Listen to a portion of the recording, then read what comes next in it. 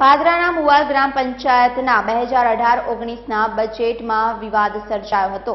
છ સભ્યોએ વિશ્વાસમાં નહીં લેતા હોવાના આક્ષેપો સાથે બજેટનો વિરોધ કર્યો હતો. ગ્રામજનોએ આ અંગે સરપંચને આવેદનપત્ર આપી ખાસ ગ્રામસભા બોલાવી હતી.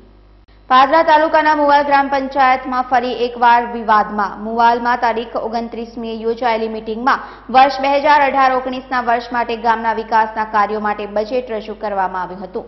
પરંતુ ડેપ્યુટી સરપંચ મફતભાઈ પરમાર સહિત છ સભ્યોએ વિરોધ નોંધાવ્યો હતો, જેમાં તેઓએ આક્ષેપ કર્યા હતા કે બજેટ અંગે તેઓને વિશ્વાસમાં લીધા નહીં અને બજેટ અંગે તેઓને જાણ ન હોવાથી વિરોધ કર્યો હોવાનું લેખિતમાં પંચાયતને અને મિટિંગમાં વિરોધ નોંધાવ્યો હતો.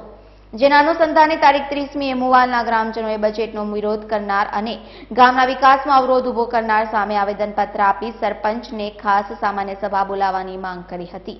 જે મુજબ સરપંચે પોતાની સત્તાની રૂએ ગુરુવારે પાદરાના મુવાલ ગ્રામ પંચાયતમાં ખાસ સામાન્ય સભા ગ્રામજનોની હાજરીમાં બોલાવી હતી.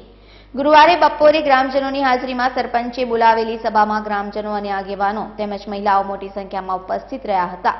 અને બજેટનો વિરોધ કરનાર અને વિકાસમાં અવરોધ કરનાર સભ્યો સામે રોષ વ્યક્ત કર્યો હતો. અને આક્ષેપો કર્યા હતા અને જરૂર પડે તો આંદોલનનો માર્ગ અપનાવવાની ચીમકી આપી હતી. હું વોર્ડ નંબર બે ની અંદર રહું છું. મને જાણ થઈ હતી કે બે હજાર અઢાર ઓગણીસનું અંદાજપત્ર જે આવવાનું છે એ રજૂ કરવા માટે ઓગણત્રીસ તારીખની મિટિંગ બોલાવેલી સરપંચે. એની અંદર છ સભ્યોએ વિરોધ કરેલો છે.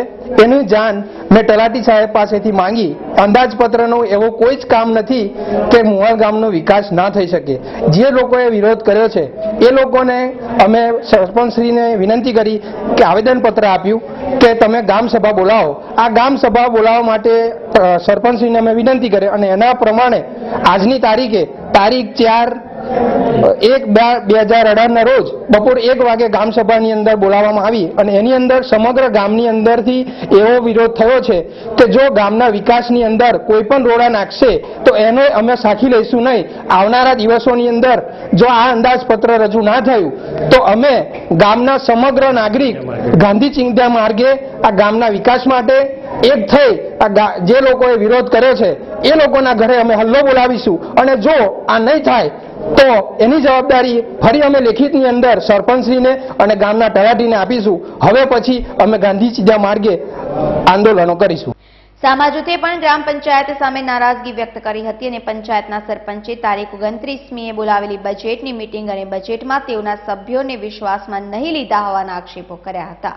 એમના બાર મહિનામાં એક રૂપિયાનું કામ નહીં કર્યું. અમારા પૈસા એમણે વાપર્યા પંચાયતમાં બચાવેલા. અને એક રૂપિયો હજુ કોઈની પાસે લોકો લાયા નહીં. એક એક ખુરશી પંચાયતમાં એમને વહાય નહીં એક સમચી પંચાયતમાં લાયા નહીં. તમારા જૂથના જે છ સભ્યોએ વિરોધ કર્યો છે બજેટમાં બે હજાર અઢારનો એવો આક્ષેપ છે એના માટે આજે ખાસ સામાન્ય સભા બોલાવી હતી. તો એ એજન્ડા આપ ખરેખર આપ આ જે બજેટની જે પાત આવી તો બજેટની મંજૂર કરવાની સત્તા મોડા ગ્રામ પંચાયતના કારોબારી સભ્યોને છે.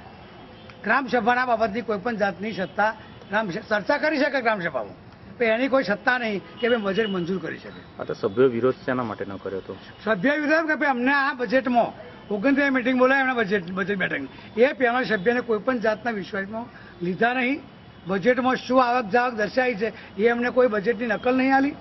ફરી એ લોકો અમે ટીડીઓ પર રજૂઆત કરી બધા સભ્યોએ કે સાહેબ અમના બાબતની કોઈ જોન એમાં વધે ના મંજૂર કર્યું છે. તો ફરી ટીડીઓ મિટિંગ બોલાય ત્યાર પછી નકલ આપી છે.